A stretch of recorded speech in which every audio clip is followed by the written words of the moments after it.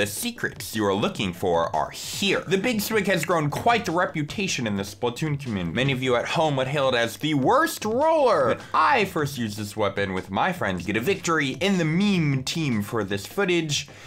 Well, we lost and lost and lost and lost. Yet, it is a fun weapon that can hold its own if played correctly. This video will have pointers, but please, before you comment, consider this is very much so opinionated. The Big Swig is the inking roller. If you never die and just roll the whole game, you can get around 1,800 paint points. Its horizontal or the roll does a measly 70 damage, while its vertical flick does 120 at very close range, while 47 at its actual or fore range. Unlike the Diamond Note, this has fabulous ink efficiency and fabulous maneuverability. The Big Swig is very, very different compared to the other rollers. I have played a lot of the Big Swig to prepare for this video, so please enjoy and subscribe. Hours and hours of footage and dedication have gone into this, and after carefully analyzing all of my gameplay, I have this guide just for you. Look out gamers, I committed a science. Excuse me, that's my line, you chicken muffin. Uh, hi viewers. If you want to see my opinion on whether or not the Big Swig is trash or treasure, come check out my video, linked in the cards in the description below. Peace. Of course, Vasko has a video too, for me, if you want to play the Big Swig roller well, forget everything you know about the rollers. Look forward to Salmon Run and learn through your failure. You'd better forget. If you have not played Splatoon, even better. That's right, forget everything you know about the other rollers. The Big Swig, in my humble opinion, is the best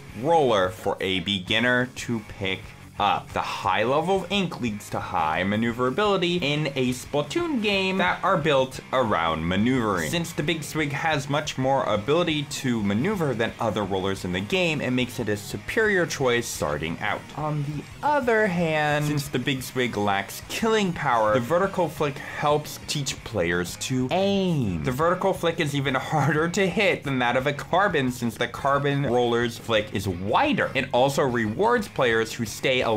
Therefore, the Big Swig is somewhat of a natural tutorial, albeit not a very efficient one. If you played other rollers for a long enough time to develop habits, those said habits will hurt you with the Big Swig. With most rollers, you can one-hit KO. With the Big Swig, you simply cannot, unless you are practically making out with your enemy. You see two enemies and are conditioned via the carbon or vanilla rollers to bap, bap, and try that with your Big Swig, well, most likely will die. Stay back, use your ink as a buffer, and maneuver in for a sneaky splat. If someone decides to get in close, use your vertical flick as an emergency one-hit KO. For the Flingza, or the Dynamo Rollers, vertical flicking is the preferred method of splatting and inking. Not with my pal, the Big Swig. With this weapon, the rolling ink efficiency is just insane. You can quickly roll your way to an ink vacuum without so much as using half of your ink tank. During Splatfest, this was a fun and easy way to enter mid at the start of the match. Supportive Special the Vacuum to help lock down mid control with my more aggressive teammate. The horizontal ink power on this big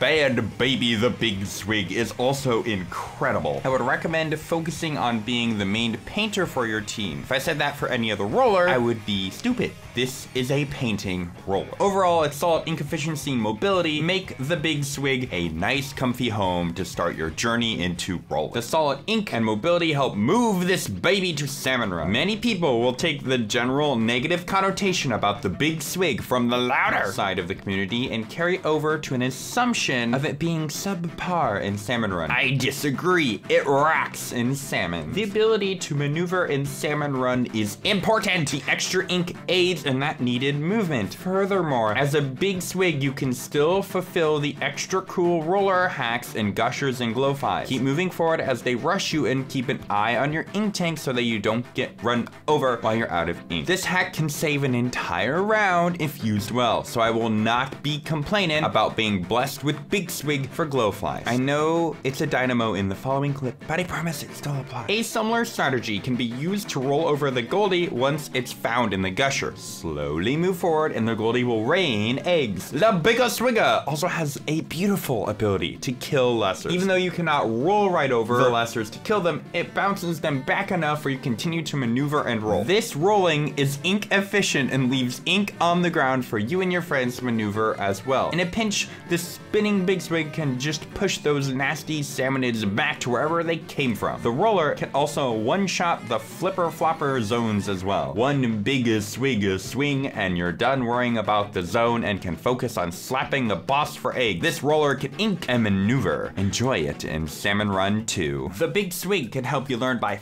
failing. Before I mention, I had lost with the meme team many a times. We, however, were able to greatly improve thanks to that terrible experience. I am by no means an expert roller main, nor a comp player, but I'm able to recognize my mistakes and think of how and why I died. Having died enough times with the big swig, I believe I am finally decent at its vertical flips. It feels extra awesome to get a three hit kill having learned the proper spacing and timing against the shorter ranged players. Outmaneuvering, out painting, and getting those three or four flick kills is just extra satisfying. For Rainmaker, by the way, this baby the big swig does not help pop the Rainmaker shield. Let others, like me, dying to the Rainmaker pop be the failure you learn from rather than trying to take on the Rainmaker and frustrating yourself as I have been for so long. On another point, jumping into your teammates does not work either. The carbon or the splat roller, you can get a splat or a trade on those pesky spawn campers. That doesn't work for the big swig. Rickrolling is just not a good idea for the big swig either. Just take a look at what happened to Vasko. With careful attention to your failures, they can become your key to success in the future. Also, the vacuum on this big swig can be sniped at long distances. Had to fail at that one to find out. And speaking of the vacuum, but wait, there's more. Call now, and with three easy payments of 1999 Sheldon licenses, we shall add a vacuum to your bigger swigger. Or, uh, yeah, it's just already there. You will start to notice how a well-timed vacuum can help, especially the hands of a roller that can get many of them each match. Learning the vacuum takes a good amount of time as well, and thoughtful failing with your vacuum is a good way to learn. Slurping up Booyah Bombs is incredibly satisfying as well. You can take in anything that inks, including Tentamissiles. For those tricolor battles in Splatfest, using it to attack with a teammate, preferably in VC, is incredibly helpful. It keeps defenders from splatting your teammate whilst going for the ultra signal. At the end of the day, positioning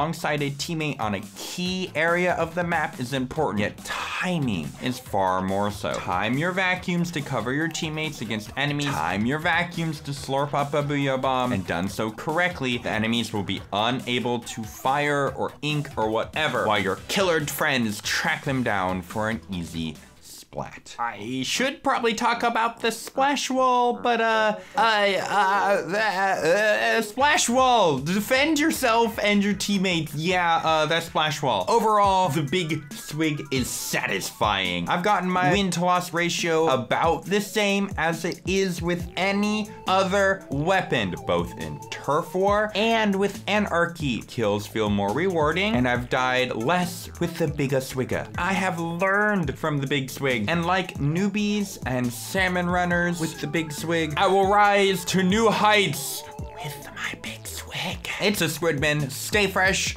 no dying. Uh, Vita Body, bye!